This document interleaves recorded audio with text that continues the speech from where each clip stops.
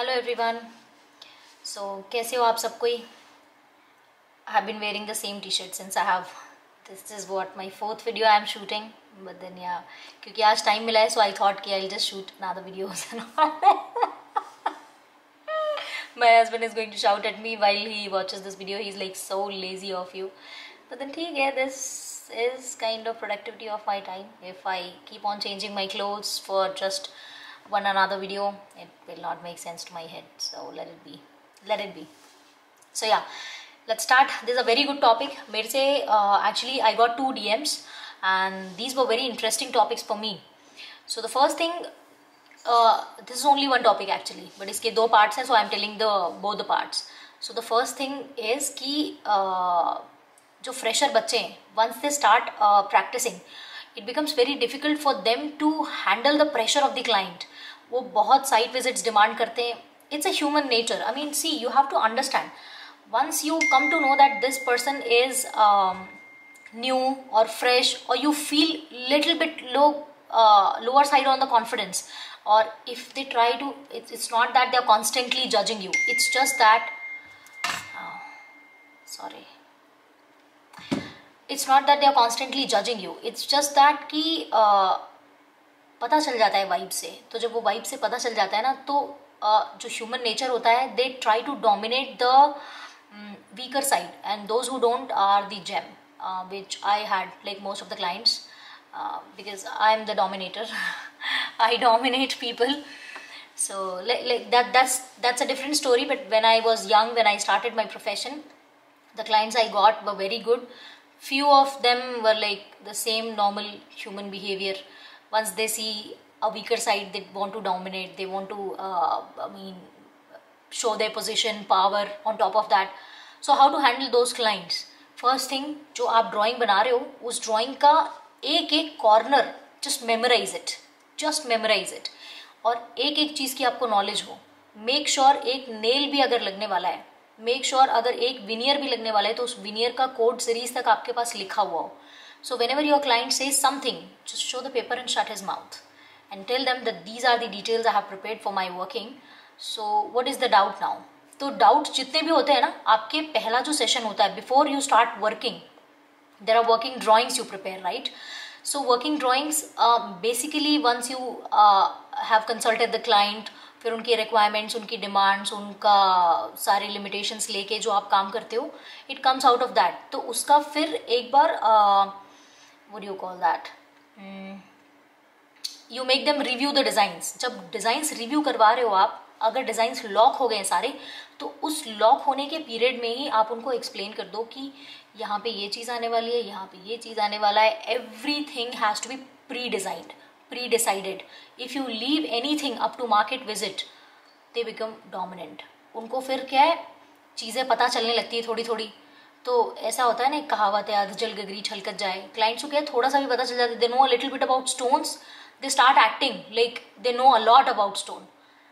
like oh okay okay that tan brown that black galaxy oh that uh, what do you call that? Italian marble italian marble में भी तीन चार ही नाम आते हैं उनको and they'll start showing you off. तो वहाँ पे क्या होता है? You are professional into this field और अगर लगता है आपको सामने वाले को थोड़ा ज़्यादा नॉलेज है इससे तो you automatically feel little bit more insecure कि अरे मेरे को ज़्यादा पता होना चाहिए। अरे इसको भी थोड़ा पता है। अगर पता है तो I have to be more cautious तो एक्स्ट्रा कॉशियसनेस के चक्कर में थोड़ा आप सामने वाले को डोमिनेट करने का वो लेवरेज दे देते हो। This a very psychological thing I know it's very difficult कुछ लोगों के सर के ऊपर से जा रहा होगा कि what am I talking but then जो ध्यान से सुनेगा, उसको ये समझ में आएगा कि this actually happens and those who have suffered through this they will definitely come to know so everything has to be pre design pre decided and everything has to be pre selected ताकि client को कहीं पे भी कुछ बोलने का या dominate करने का या चेंज करने का, कुछ करने का मौका ही ना मिले। Right and once if they try to change few things like if it's a whole design then i think you can sit और बाद में बात करके कर सकते हो। But if it is like material अगर किसी डिज़ाइन में मटीरियल बार बार चेंज करने की बात करते हैं client then you have to stop them shrug them off I mean वो आइडिया उनके थॉट प्रोसेस से just pluck it out pluck it out like a blackhead and throw it away उनको इतना टाइनी फील कराना है उस चीज़ को कि I mean I am a designer you have hired me trust me for this this material is going to be freaking beautiful.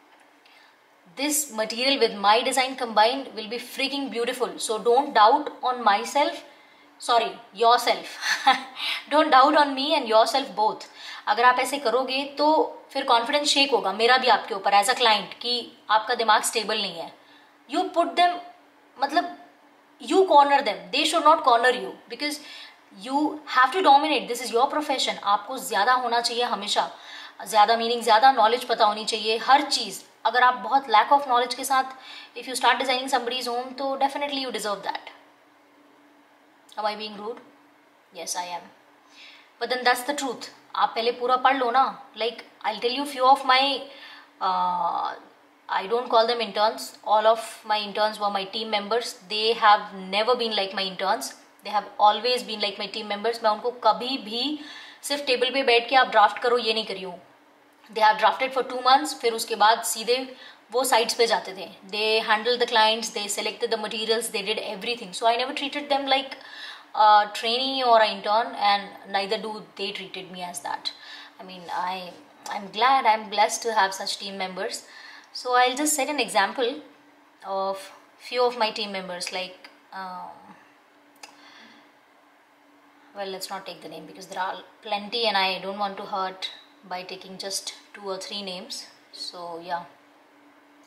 तो वो लोग इतने स्मार्ट थे ना दे दे ऑब्जर्व मी और देखने के बाद में they knew they knew this कि once you are capable